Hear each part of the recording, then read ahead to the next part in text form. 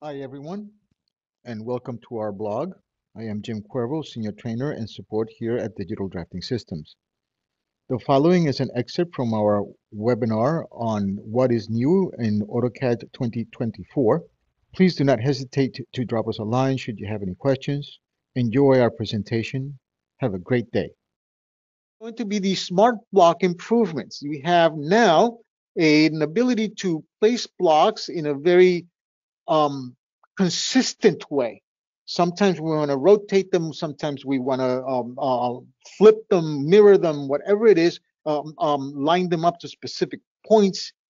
Okay, all of those things are being tracked nowadays, uh, and not only for the placement but also for replacements. But here is where, where it's much much more evident. Okay, and what is it that I'm saying? Tracking. Uh, what, what, what am I? What are you talking about, Jim? What what I'm talking about is the actual implementation of an Autodesk AI. We're talking about automa- uh, uh, um, um, artificial intelligence here that is being uh, actually uh, uh, introduced into AutoCAD. So why don't we go ahead and see how that actually works?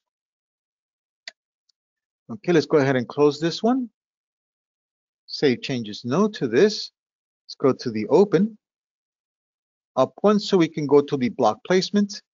Select our drawing and here is our block placement. The block that we're going to be using to study this is going to be this particular one, which happens to be, if I select it and I right click on it and go to the properties, it's going to be called desk three. Interestingly enough, there's an icon next to desk, desk three. You see that in the on the miscellaneous name, there's an icon. It's called replace. Now that's interesting. We'll look at that later. Okay, so we this is the um, desk three right? So let's go ahead into insert. I'm going to go ahead and minimize this for now. And let's go into insert and we'll go ahead into uh, blocks and here's my block, okay? This is desk three. Now it's been tracking how we place desk three in the environment that we want to place it in. So let's go ahead and select it. Now I want you to see some things that are happening, some orange things that are happening. You ready? Here it goes. You see those? You see how it automatically switches it? And it looks just like the placement that we had above, except oriented in the reverse. And I click. So that's a single placement. What happens if I want to, if I want to repeat the placement? Hmm, can we do it?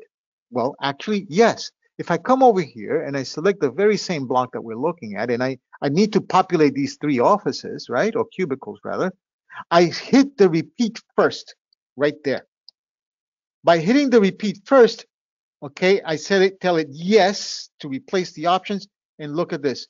Click once and it continues to allow me to place additional blocks of the same type that I just placed when I hit the repeat.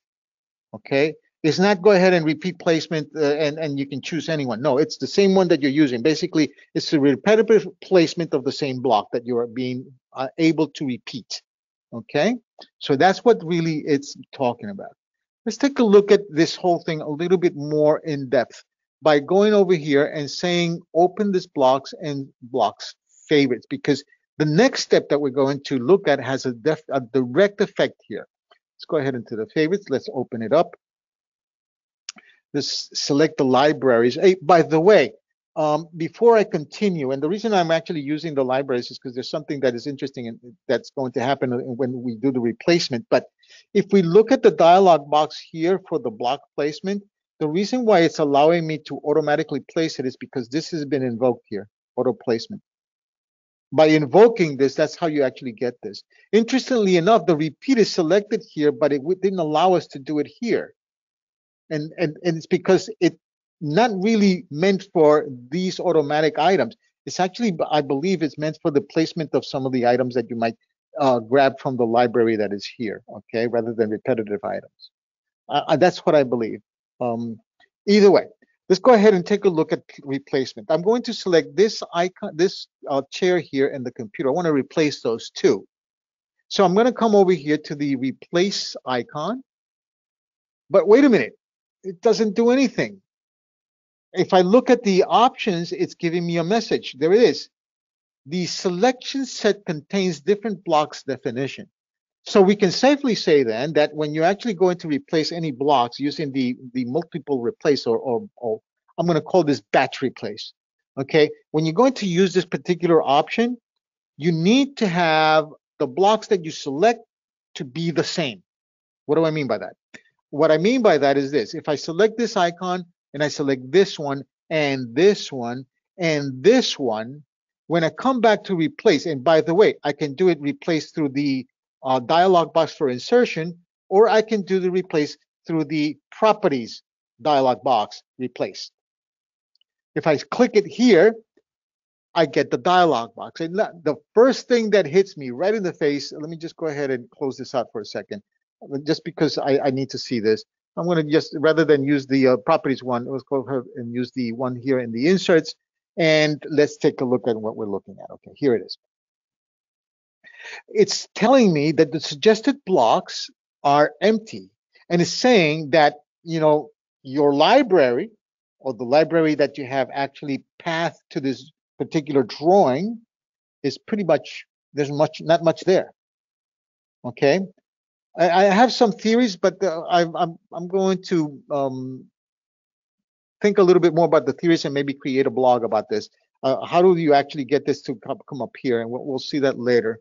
Okay, or not later, but uh, eventually we'll put up a blog that will do that. But for now, what I want you to see is that I'm, I've got these selected and I need to uh, select a block. I'm going to use a recent block. I know that this happens to be a chair. Okay, so I'm going to use this one to replace it. It's actually a 3D chair, so it's going to be a little bit dense. So let's go ahead and use this one, which is a two two line uh, 2D chair, and it automatically replaces it. You'll notice that the insertion point is actually respected.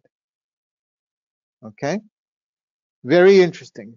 Uh, if you want to uh, position it and all that other stuff, uh, might be a good idea for you to go ahead and make sure that all of your chairs are going to be placed the same way, so you don't have this particular problem of having to rotate and stuff like that. It might be a, a I think it's it's actually a good organizational skill for the for the for your libraries.